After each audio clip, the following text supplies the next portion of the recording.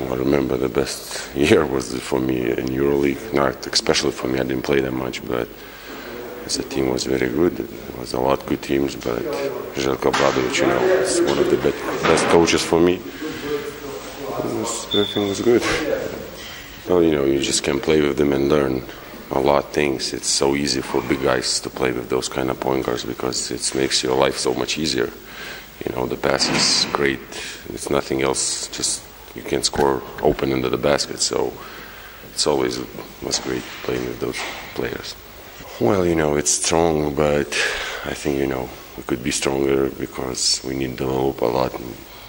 Right now, young players, I think you know, doesn't work that much as they should, and we have a couple players that are probably going to be stars, but like you know in every country i think there's a lot of things to prove a lot of things you know we don't have no point guard right at this moment. I think in lithuanian even national team at least not as good as was marčiulionis or Šarūnas.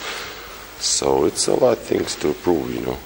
Well it's the goals is always you know for the gold. I don't know what else. It's i think we always have a strong team and this year is going to be especially young team it's going to a little bit change from last year, even you know.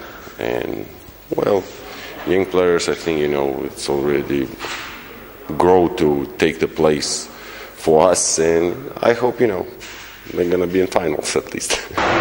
well, there's a lot of basketball players. You know, Sabonis probably the first guy that I remember. Sabonis, Sabonis, always the hoop is Sabonis, but then I went to the States, Michael Jordan, even it's not my position, but I think, you know, the best players for me. Why? It's just because they're the best.